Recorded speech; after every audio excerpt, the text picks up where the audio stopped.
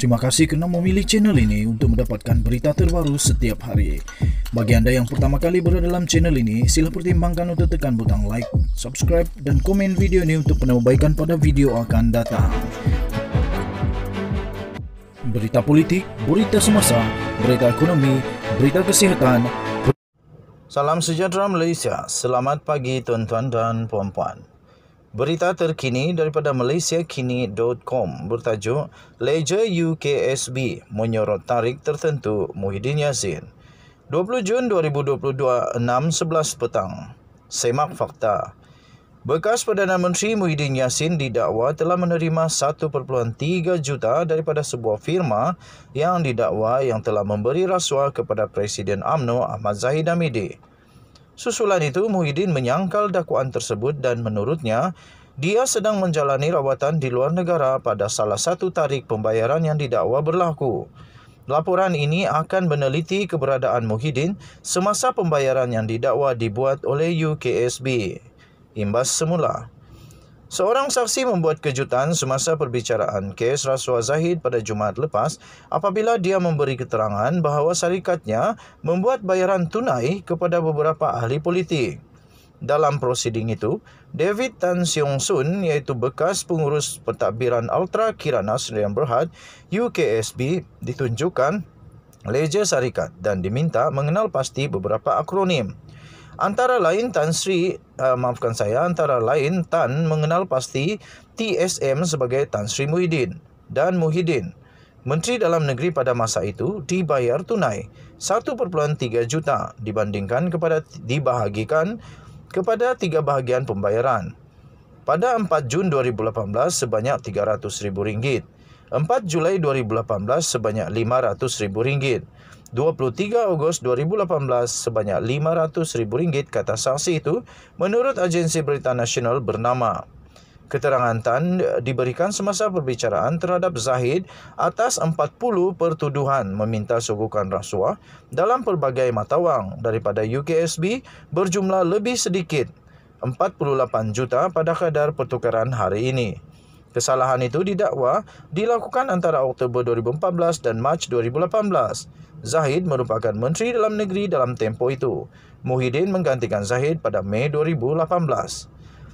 Muhyiddin berkata, saya berada di luar negara. Muhyiddin menafikan keterangan Tan. Jika maklumat yang didedahkan di mahkamah adalah palsu, saksi itu boleh dibicarakan kerana sumpah bohong.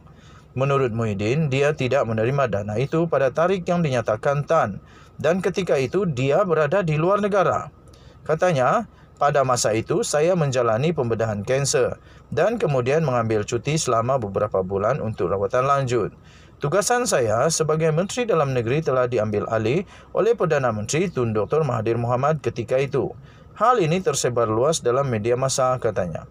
Malahan pada palik tarik tertentu yang dinyatakan oleh saksi, kononnya saya telah menerima sogokan wang tunai, saya sebenarnya sedang menjalani rawatan di sebuah hospital di luar negara adalah mustahil bagi saya menerima sebarang sogokan wang tunai daripada sesiapa dalam keadaan itu. Dakwaan tersebut ternyata tidak berasas katanya. Muhyiddin berkata dia tidak pernah menerima sebarang wang daripada Tan atau orang lain daripada UKSB. Tambahnya dia tidak pernah disiasat oleh pihak berkuasa berhubung perkara ini dan bersedia untuk disiasat. Oleh itu dia menggesa pihak berpendakwaan menjelaskan perkara tersebut yang dikatakan memfitnahnya pembayaran sebelum dan selepas. Muhyiddin antara kumpulan pertama Menteri Kabinet Pakatan Harapan yang mengangkat sumpah pada 21 Mei 2018. Bayaran pertama sebanyak RM300,000 seperti yang didakwa oleh Tan berlaku hanya 14 hari kemudian pada 4 Jun. Manakala pembayaran kedua sebanyak RM500,000 didakwa dibuat pada 4 Julai. Keesokan harinya, Muhyiddin hadir majlis rumah terbuka Hari Raya Adil Fitri Kementerian Dalam Negeri di Putrajaya. Pada majlis itu, Muhyiddin bagi pihak kerajaan persekutuan menerima cek sebanyak 1 juta ringgit Malaysia daripada kontraktor Kementerian Dalam Negeri Dana Sonic Group yang maksudnya dimaksudkan untuk dana tabung harapan Malaysia. Muhyiddin kemudian bercuti pada 12 Julai dengan Mahathir mengambil alih Kementerian Dalam Negeri. Muhyiddin menerima rawatan berkaitan kanser pankreas di Singapura. Muhyiddin keluar dari pusat perubatan pada 7 Ogos. Pada 13 Ogos, dia berada di Dewan Rakyat untuk mengangkat sumpah sebagai ahli Parlimen Pago. Bayaran ketiga yang didakwa berjumlah RM500,000 berlaku 10 hari kemudian pada 23 Ogos. Bila Muhyiddin bercuti pada 2018? 21 Mei 2018, Muhyiddin dilantik sebagai Menteri Dalam Negeri. 4 Jun 2018, dakwaan pembayaran pertama RM300,000 dari UKSB. 4 Julai 2018, dakwaan kedua RM500,000 daripada UKSB. 5 Julai menghadiri rumah terbuka Hari Raya di Putrajaya. 12 Julai 2018, Muhyiddin cuti sakit. 7 Ogos 2018, Muhyiddin dibenar keluar dari hospital di Singapura. 11 Ogos 2018, PM Umum Muhyiddin akan kembali bertugas. 13 Ogos 2018, Muhyiddin angkat sumpah sebagai anggota parlimen. 23 Ogos 2018, dakwaan bayaran ketiga RM500,000 daripada UKSB. Tarik tidak pasti. Muhyiddin dalam kenyataannya berkata, semasa tarik tertentu yang diberlaku, didakwa berlaku pembayaran itu, dia sedang berada di luar negara untuk menerima rawatan. Dia tidak menyatakan secara khusus tarik yang mana antara tiga tarik yang telah disebutkan oleh Tan sebagai tarik yang dimaksudkannya. Malaysia kini telah menghubungi pejabat Muhyiddin untuk mendapatkan penjelasan mengenai tarik tertentu. Pada masa artikel ini ditulis, tiada sebarang maklum balas diterima. Semakan awal ke atas arkib media tempatan dan Singapura gagal mengesan laporan bahawa Muhyiddin berada di luar negara pada tarik tersebut. Bekas Presiden AMNO Najib Razak pula menyoal kekaburan yang menyelubungi tarik tertentu dan menulis mengenainya dua kali di laman Facebooknya. Menurut Najib, Muhyiddin berbohong tentang dia tidak berada di dalam negara pada tiga tarik tersebut. Katanya sebab Muhyiddin belum menjawab selepas timeline jelas menunjukkan dia membohong bahawa dia tidak berada dalam Malaysia pada tarik dia didakwa terima sogokan.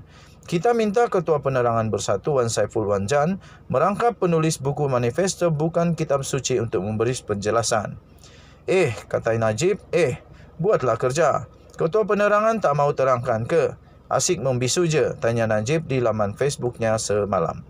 Kesimpulan, daripada maklumat yang tersedia untuk awam, tidak dapat dipastikan sama ada Muhyiddin berada di luar negara atau tidak. Pada 4 Jun, 4 Julai dan 23 Ogos 2018, Sepanjang tempoh Muhyiddin cuti perubatan iaitu 12 Julai 2018 dan mengangkat sumpah jawatannya sebagai ahli parlimen 13 Ogos 2018, dia sebahagian besarnya berada di luar negara. Bagaimanapun, pada tempoh antara 4 Julai 2018 dan 23 Ogos 2018, Tan mendakwa berlaku pembayaran tunai sebanyak 1 juta ringgit Malaysia kepada Muhyiddin dalam dua bayaran yang sama. Namun tidak boleh disimpulkan bahawa penafian Muhyiddin sepadan dengan maklumat yang diberikan oleh Tan mengenai tiga dakwaan pembayaran itu. Ini kerana tiada penjelasan lanjut daripada pejabat Muhyiddin termasuk invoice untuk rawatan atau cap immigration pada pasport diplomatiknya. Sekian berita, salam sejahtera Malaysia, denyut nadi suara rakyat bergema di channel ini. Jangan lupa tekan butang subscribe, like dan share. Kita jaga kita, Malaysia kita punya. Kita jumpa lagi, bye-bye.